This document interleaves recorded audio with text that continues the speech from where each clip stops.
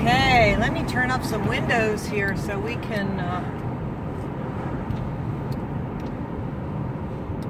so at least you can hear what I'm saying. Although some of you might not want to hear it. And in that case, turn off your video and go away.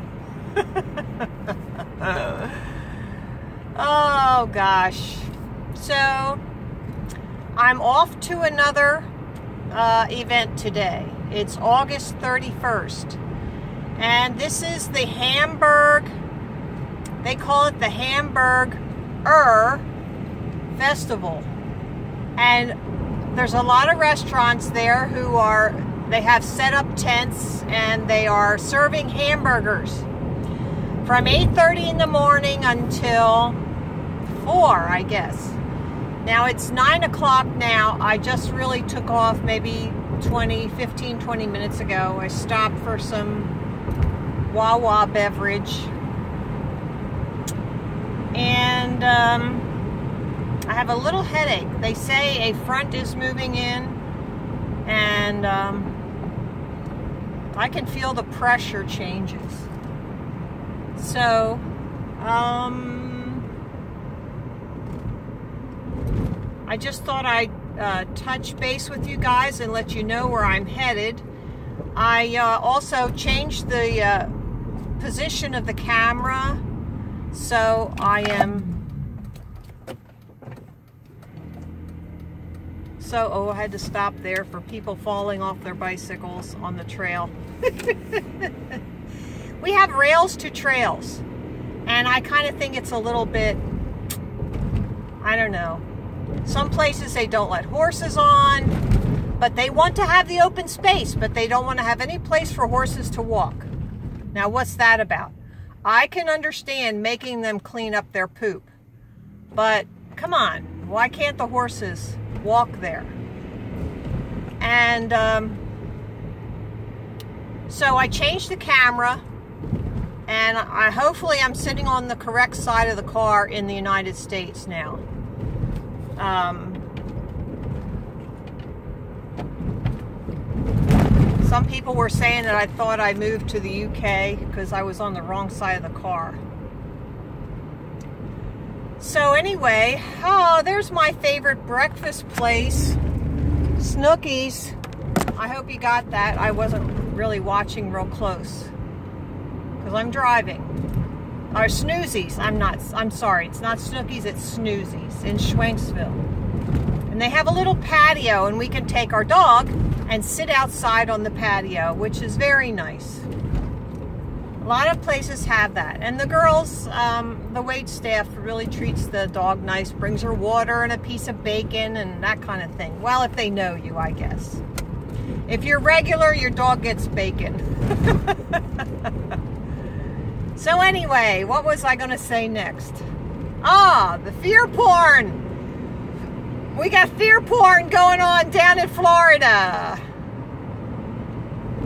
And I saw something, uh, Shep Smith. And is he a weatherman normally? I don't know because I don't watch those people anymore.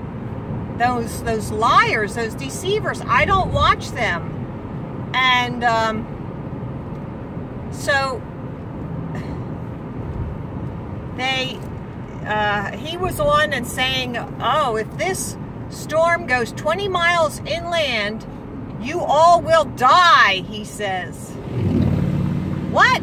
I mean, it's like such fear porn, and they have to make it really uh, uh, sound like scary because people are catching on and they are kind of immune to all the uh,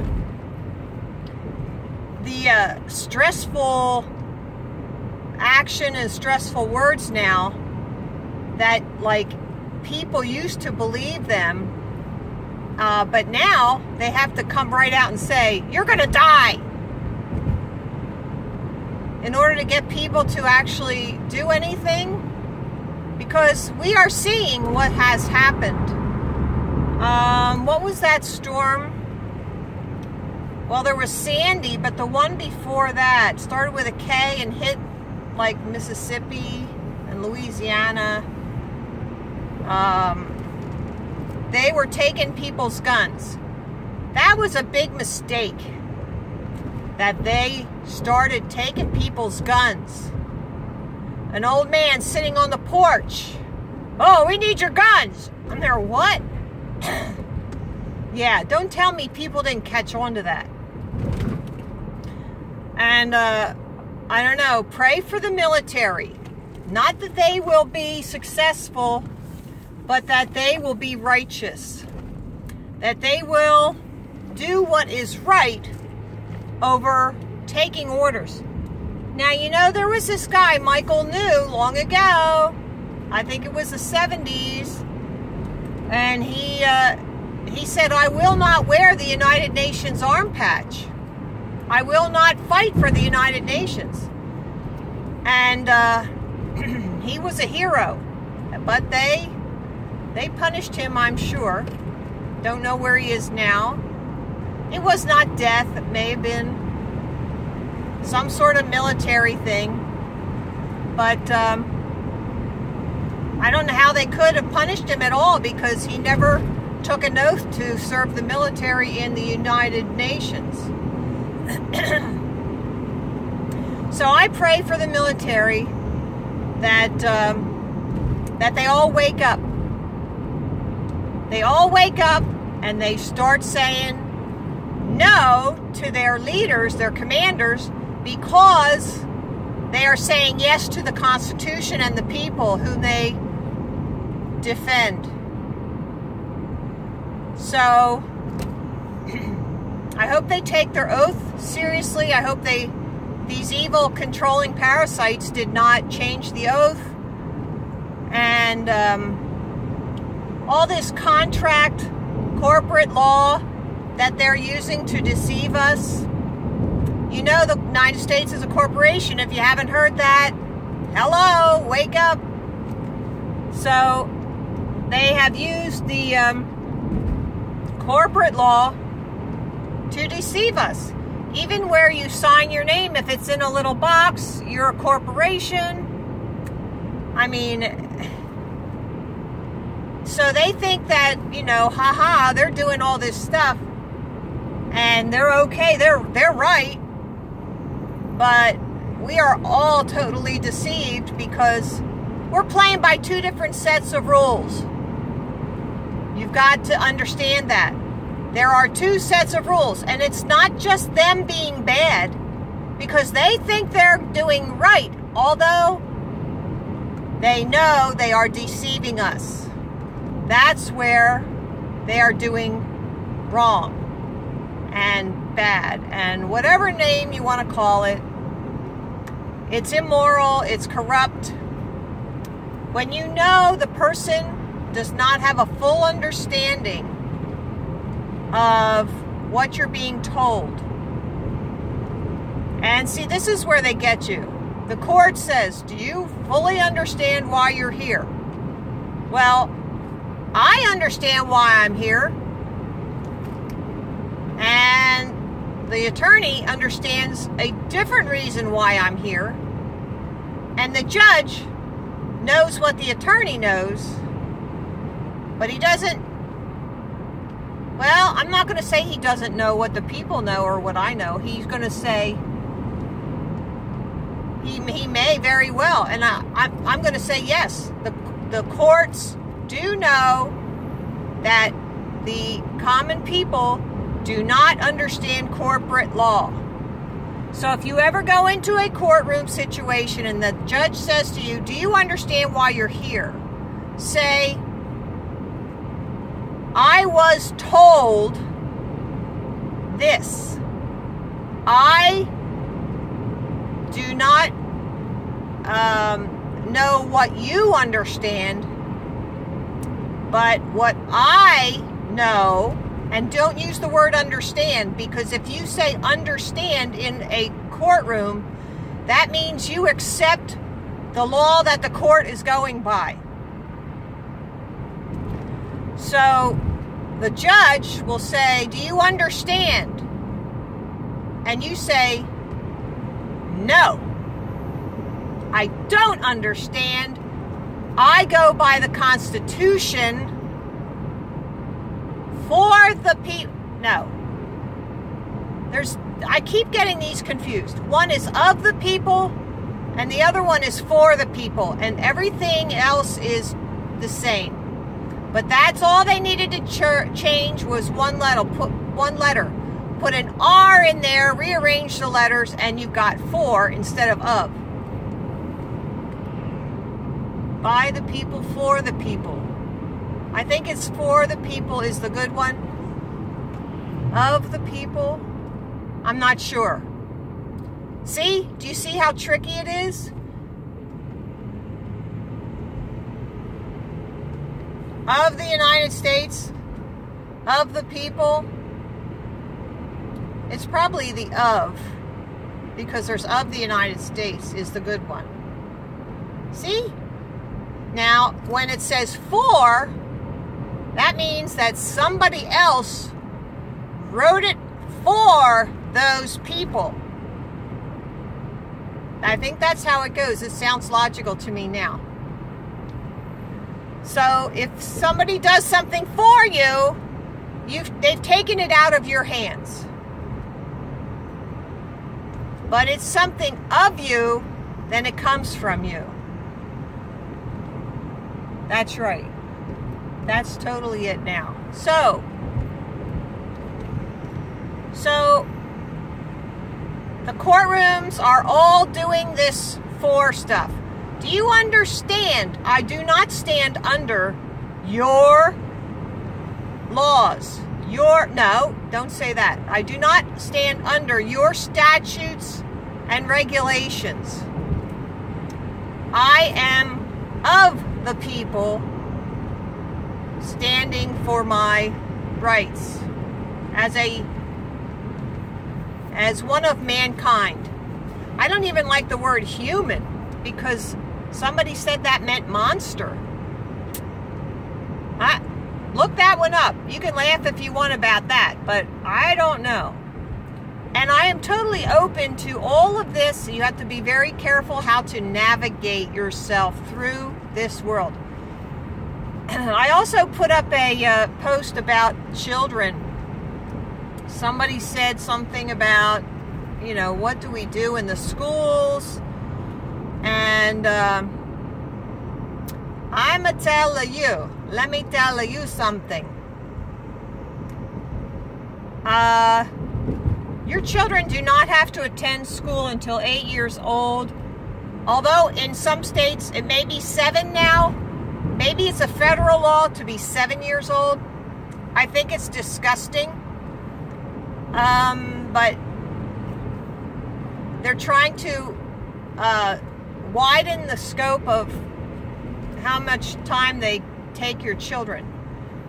So, keep your child out of school as long as possible.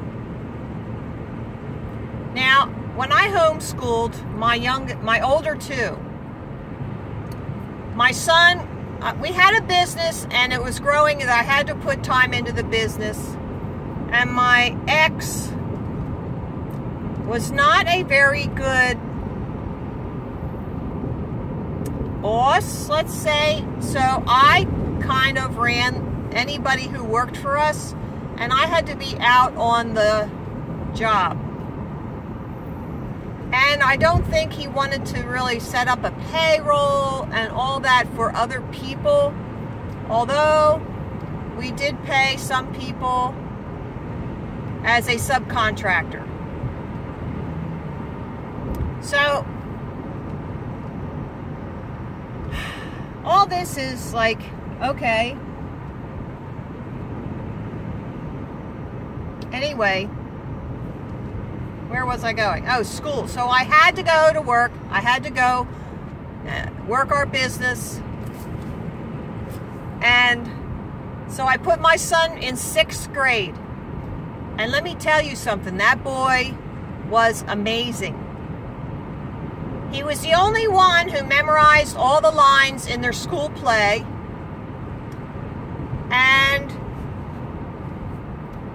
he played a trumpet solo. And he was just wonderful. I'll tell you, he just was shining. And the other kids, a couple of kids, beat him up at school in the playground one day. How that happened? How did that happen? I do not put it past the teachers and the administrators of the school to set children up for failure. Yes. They will set children up. So all you have to do is find the bad boy and say, oh, see that kid over there? He said this about you. And the kid will never go ask the other kid, did you really say that? He'll just go beat him up.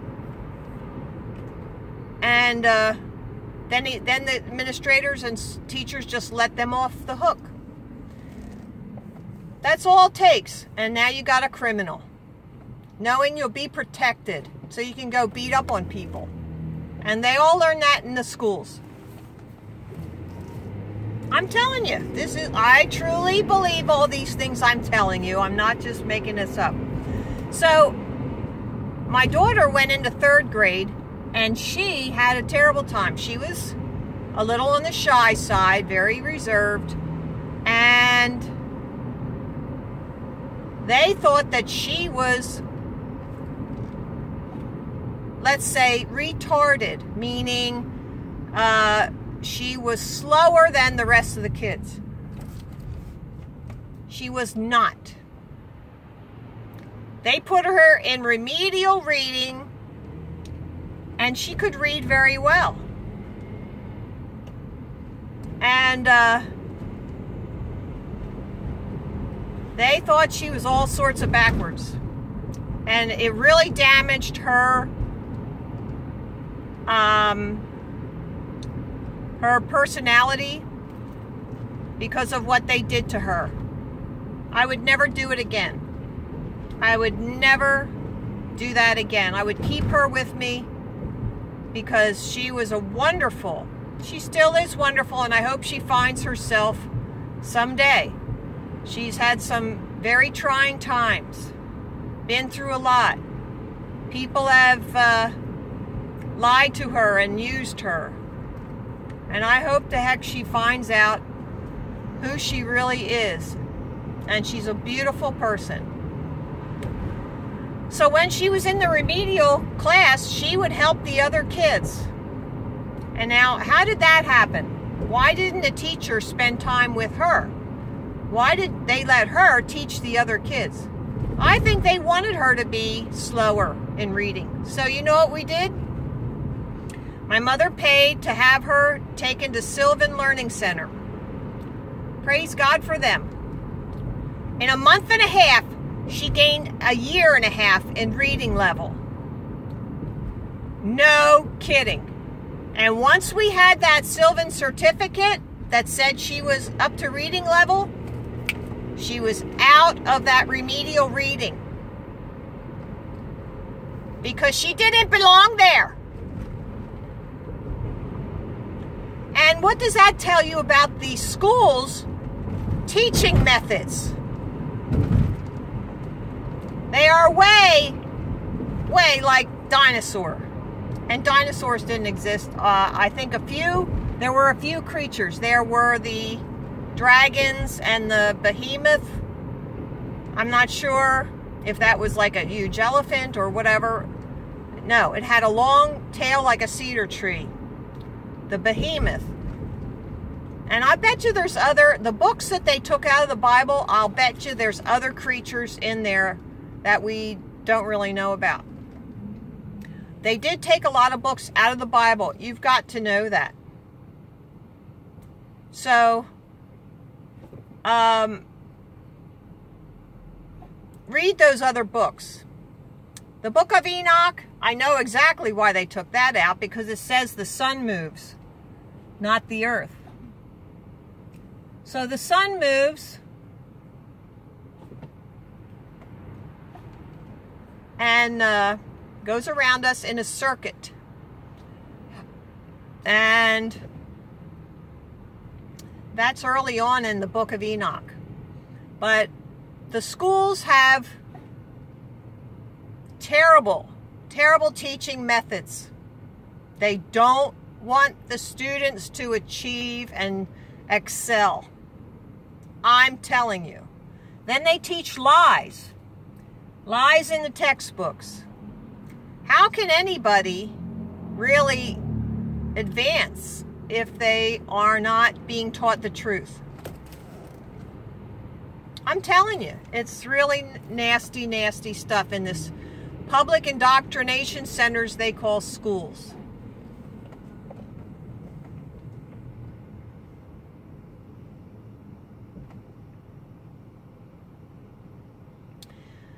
So, uh, what else? So I'm on my way up there. There, oh, the hurricane down there. Oh, Katrina. That's what it was. The Hurricane Katrina, where they were talking about the guns, taking the guns away and whatnot. You got to be careful, people. The uh, government really only knows that I have a concealed carry permit, and that's all they, they're going to know, and that's why they do it. They do this concealed carry stuff so they know who has a gun. That's why they do that. Why else would they do it? And then they published it. Who has a concealed carry? Well, then that means everybody else is free, you know, free game, right? They're a no gun zone, all those other houses, and then the uh, robbers would go and steal from them because they didn't have a gun listed. Well, I guess that doesn't really doesn't apply to shotguns and rifles because you can't really conceal them, can you? Unless you're wearing a trench coat. So anyway, I'm off to this Hamburg thing. Now, if you watched my last set of videos, the River Fest, you will notice that um, the one guy says, oh, yeah, we're going up to the River Fest, the Hamburg. We're going to Hamburg. And I said, oh, when was that? When's that going to be? He said, on the 31st. I'm there. I'm going to go to that. So everybody knows I'm going to that. So it's, it is shoulder to shoulder. When they get going there, it's packed. And uh, I'm going to give a shout out to Deutsch Eck. It's a it's a traditional German restaurant, Pennsylvania Dutch restaurant. And it's just a little house and it's got, uh, you know, it's pretty old. It's got a bar in it and it's all decorated in, um, you know, Pennsylvania Dutch Oh, golly. What are those, um, the symbols called? Oh, I'm having a brain fart. When you're over 50, you have a brain fart once in a while. But um, the way they used to paint, well, they still paint their uh, farms, uh, barns and outbuildings with symbols. So that's what's all inside. And I think it's worth a trip. It's on 78 between Allentown and Hamburg. Yeah. Uh, 78. I don't know what the other route. Um, just look it up. Deutsch Eck on. It's on the. That's what Eck means. Corner. German corner. That's really the name of the restaurant. Deutsch Eck. So, ECK. Mein Hut, er ist dreieckig. Dreieckig ist mein Hut. my hat, it has three corners. Three corners has my hat. Kannst du Mika Can you catch a fly? This is an old Pennsylvania Dutch joke. Kannst du mich fangen? Ja, wenn sie hoch bleiben. The answer is yes, if he's sitting down. you got to pay Pennsylvania Dutch to appreciate that. Silliness. It's just silliness. But you know what? They're the hardest working people ever. Ever. The Germans were just wonderful hardworking people, and they were very intelligent. And I'm going to tell you, I very much question what happened in World War II. You bet I question that. I just don't think it's like we're getting told. The official narrative is always to be questioned. But look what it did. It got us into war, didn't it? A very nasty, ugly war. Let's not do that anymore, people. To all you military, wake up. Wake up. Look at what's been happening. I know they got rid of some generals who were out in the open and, and did not do as they were told. They were um, disgraced. They were uh, shamed. And I can't name names because I don't have all of the facts. But I know a lot of them were gotten rid of, and I pray to Jesus that they are not giving up their oath. Although we have no evidence of any of that. And I think we ought to join their army. If there is an army, the militia, we are all part of the militia. Whether you know it or not, we are the militia. And we have the right to defend our property, our homeland, ourselves. So it's going to be up to us. And that's what they knew. These parasitic controllers knew that. That's why they just have these mass migrations, bringing all these people in here. What for? Why are they bringing people in here? What's wrong with their own country? What's wrong with their countries? Tell me that. What is wrong with their own country? So, if their own country is in shambles and these people did not do anything about it, what is bringing them here going to do? Now, people will say, well, their governments are are uh, controlling and restrictive and they don't have freedom there. Really? That's not it. What you don't see is the truth. You only see their uh, the paper that's you know their constitution or their government is on the outside, and it's all made up pretty much. What's true is what you don't see. They have a central bank. So, and we probably helped to install it. So anyway, I'm, I'm talking a lot today, it seems, but maybe I had to get some of this stuff out. Um, when I get there to this event, I'm going to be parking gee, as close as I can get, but closer to the one end. And that's what I like to do is get on one end, then go through the event and around and then come back out. So at least I have two passes um, for everyone to see what's, you know, what I've got.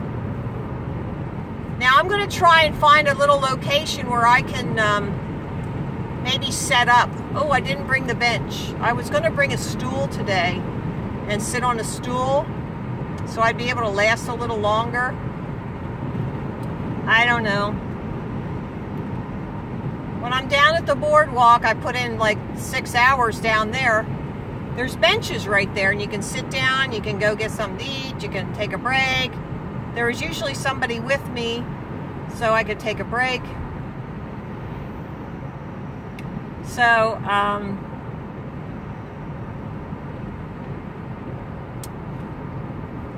I don't know.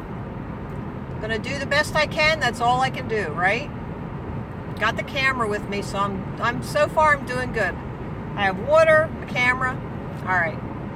All right, I'm going to let you go. Um, I'm going to premiere this video first.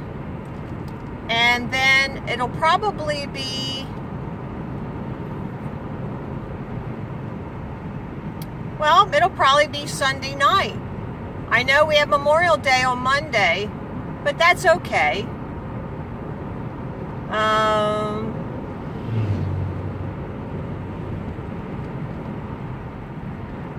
yeah, it'll be Sunday night. And then I'll premiere one segment. Now, my videos are 46 minutes. And that's something that my phone automatically did. It just breaks them up into 46 minute segments. Although, when I look at if it's still recording, it gives me the full time. So I think it's just a matter of the, that's how the phone saves them. And it has turned out to be a nice option. I like it. And it's not too long of a video. People can watch it and not get, you know, if there's a slow spot, it's not too long. I'll tell you, when these people uh, put up these two hour videos, I mean, what can you do? You can't watch them because you're just sitting there like a vegetable. But what you do is I put them on and then I'm working around the kitchen or I'm put them on, I take my computer out in the garage and turn it on, I'm working out in the garage.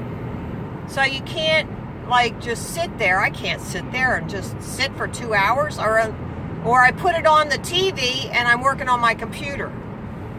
So I'm that's what I do with long videos. You can't do anything else. You cannot glue yourself. So that's what I'm doing. All right, guys. I uh, hope you enjoy uh, this next series. It'll be called Hamburg and uh, no hamburger because that's what it is hamburger festival fest maybe it should be called hamburger feast because that's what everybody's doing is feasting. There are going to be a couple bands there. Uh, I think there were two the last time I went to this a couple years ago. Um, but I don't want to be near the band. Uh, so I'm going to try and put myself somewhere that I can um, just have some nice and quiet and display my banners and see what happens. Maybe I can take them off of the rack today and just set them in the uh, in the road because this is all Main Street of the road. That's what this is. That's where this uh, fest is. All right. Have a great day, and I'll see you tomorrow night, huh? Okay, bye.